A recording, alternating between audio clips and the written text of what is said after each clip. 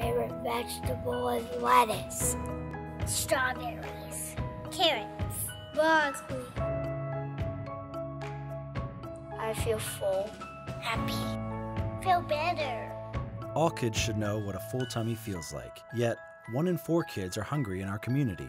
You can make a difference. Eat dirt, dig in, donate. Go to midohiofoodbank.org slash eat dirt to donate today.